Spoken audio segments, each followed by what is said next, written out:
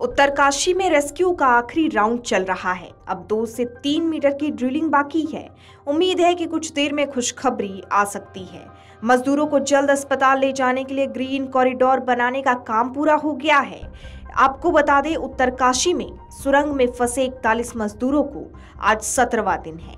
अब मैनुअल और vertical drilling की जा रही है। हालाँकि मौसम बड़ी चुनौती बन रहा है। आईएमडी ने बारिश और बर्फबारी का अलर्ट जारी किया है। वहीं पीएम नरेंद्र मोदी ने कहा कि उत्तराखंड में सुरंग के अंदर फंसे इकतालीस श्रमिकों को निकालने की प्रक्रिया में प्रकृति की चुनौतियों के बावजूद सरकार उन्हें सुरक्षित बाहर निकालने के लिए मजबूती से खड़ी है। इसी बीच आपको ये भी बता दें कि उत्तरकाशी में आज हल्की बारिश भी हुई है। इतना ही नहीं, सिलक्यारा सुरंग की आज सुबह की तस्वीरें आप देख सकते हैं। सुरंग के अंदर मैनुअल ड्रिलिंग चल रही है और पाइप को ढकेलने के लिए ऑगर मशीन का उपयोग किया जा रहा है।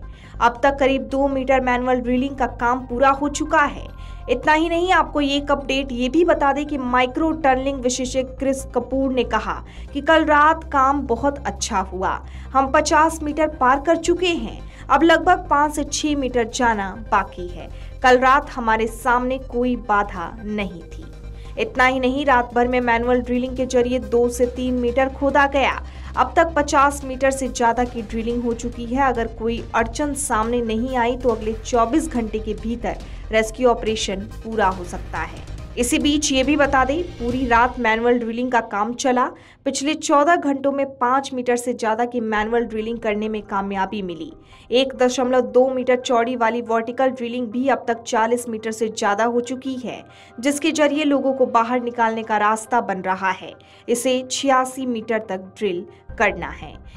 इसी बीच मौके पर पुष्कर सिंह धामी भी पहुँचे। उन्होंने वहाँ वार्तालाप किया।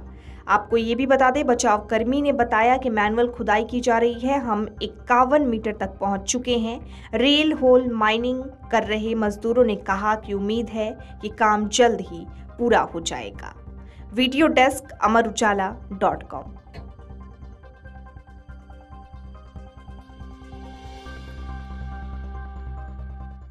अभी मैनुअल चालू हो गया है तो आज काम चालू है, वर्किंग में अभी। आज कुछ मिलना चाहिए शाम तक। अच्छा ये भी कहा जा रहा है कि अगर कोई टाइम नहीं बता सकते अगर कुछ सरिया वगैरह नहीं निकला तो आज काम हो जाएगा। मेरे साथ एक सीनियर हैं मतलब मेरे मतलब जो मैन एग्ज़ाम आ जाए और पूरी एक हम यूनिट बन के काम कर रहे हैं। पूरी टीम हमारी वर्क कर रही है। कितना काम हुआ अभी फिफ्टी मीटर चलते सप्ताह हो गया देखो। मतलब अच्छा हो गया fifty metre fifty one metre हो गया कंप्लीट अगर आप ये वीडियो YouTube पर देख रहे हैं तो हमारे चैनल को सब्सक्राइब करें और बेल आइकन को दबाना ना भूलें। अगर आप फेसबुक पर यह वीडियो देख रहे हैं तो हमारे पेज को लाइक करें।